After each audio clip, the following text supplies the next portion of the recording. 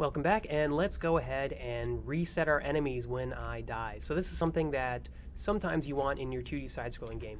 When your character dies, all the enemies get reset, and any enemy who was killed is respawned, and you have to go through the same grueling thing that you went through before. That's uh, a standard thing you see often. So this is actually pretty simple to do, especially with what we learned in our respawn system, where we, we were looking for when the global player is equal to nothing and creating the player, we can kind of use that same idea on these enemies. So let's go into this uh, logic cube right here that spawns this enemy. And let's actually get rid of the second one because we're going to copy this logic. Let's also just call it enemy spawner. Right now it's still just logic cube. And we are going to not destroy this logic cube. This logic cube is going to stay there. So every logic cube will stay there and track basically if the player has been destroyed and if the enemy is dead then it should be respawned. Because if the enemy is still alive then we don't need to create a new enemy. So first thing we want to do is check for if the global player is equal to nothing. So global uh, player equal to uh, nothing just like we were doing before. Then have this as a child line uh, and instead of once, we do started to create jump enemy. So that will create this jump enemy goblin, but it's going to create it every single time you die. So this thing could end up spawning, you know, five different goblins. Say you don't, you never get to this point. You get here and there's five goblins here. In order to change that, we need to create this goblin, set it to be equal to an object variable, then check to see if that object variable has been uh, made nothing or not. And we can compact this all to one line.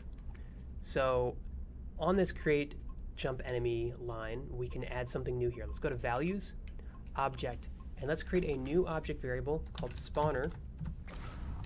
And you're going to see these red flags. That means that if you run it just like this, this won't work as intended. That's okay because it's going to work when we say equal to. This does two things at once, and it's cool because it does these two things at once. First, it creates this jump enemy at position, root position, and second, it then, as soon as it creates it, it makes it equal to this object variable called spawner. So it creates this thing and makes it equal to an object variable all on the same line. And now we can reference this and say that when spawner is equal to nothing, then that's when it creates this jump enemy. Let's create another one of these as well.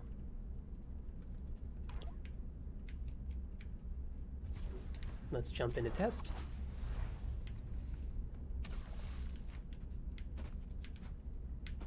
Alright, so you see we have our goblin there. Didn't quite make the jump, but so we have our goblin here. Let's kill him. Let's get our checkpoint and let's die thanks to this goblin. So we died, and now this goblin's back.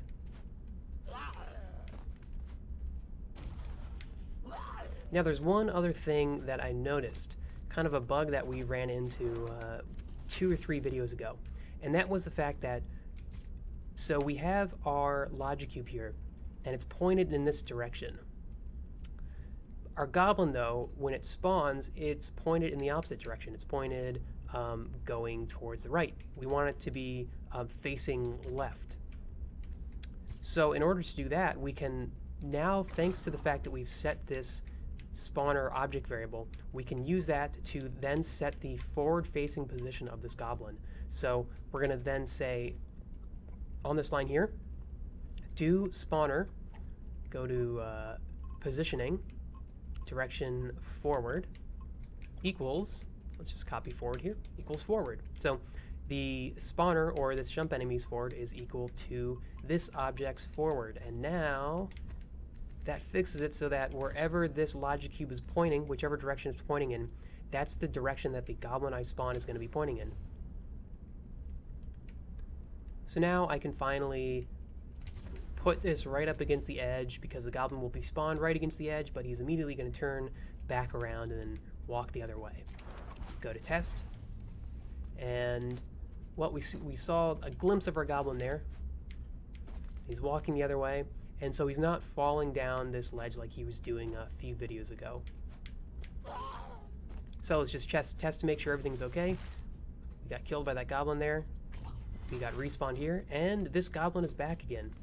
So very simple, very easy way to just reset your enemies. You know, we'll leave it up to you if you want to reset your enemies or not.